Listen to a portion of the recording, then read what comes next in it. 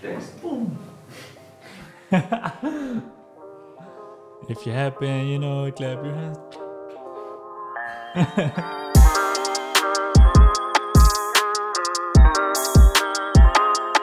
Hello, my name is Thom and I am a content creator on Twitch and YouTube and a, an ambassador for the Alpine Esports uh, team.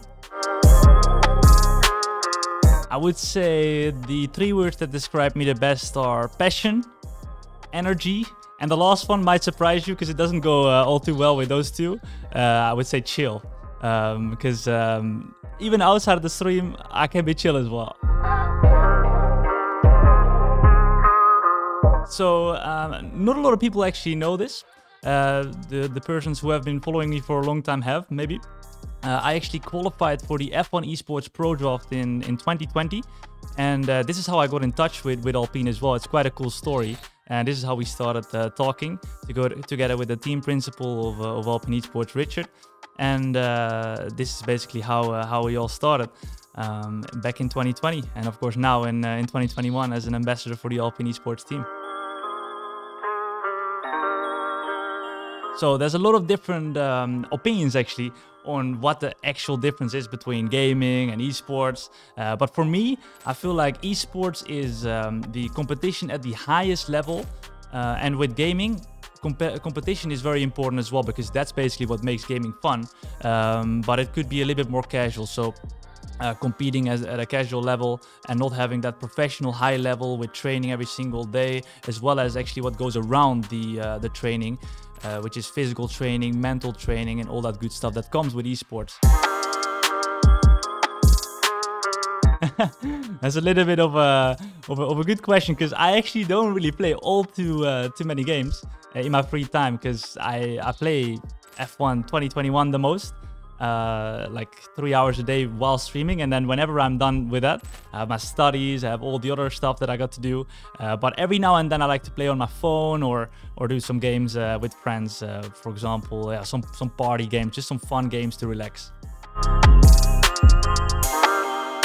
Normally, I I don't play that much actually. I normally play uh, solely when I'm when I'm streaming, which normally takes like three and a half hours. But once I'm done streaming, I'm so tired because I always put way too much energy in my streams uh, that I just lay down on the couch and, and, and play a couple games or just watch uh, watch some some some movies or, or series or whatever. Alpine presents to me well uh, the quickest sports brand in the uh, the Renault um, uh, group. Uh, hopefully, of course, as well, at some point, uh, a world champion in Formula One, as well as uh, a world champion in, uh, in esports too. Let's hope. So I actually get this question a lot. Uh, what is the ambassador uh, role in Alpine Esports? So basically, I am a content creator in my in my in my spare time, as well as for Alpine. I create content together, representing the Alpine Esports brand and uh, there's some really really cool stuff to come as well as the Alpine Esports show actually that we host after every uh, F1 Esports event so if you haven't yet tuned into that then make sure you do Je peux parler un petit peu de français, euh, mais euh, seulement euh, quelques mots.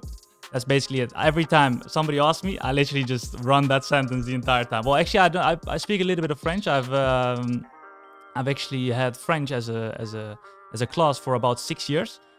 So uh, yeah, I, I, do know how to uh, to explain myself in French, but normally when people are talking French, it's so hard to to actually listen because they talk so quickly.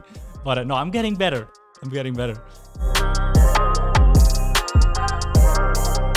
Nah, you're not gonna do this to me. You're not gonna do this to me.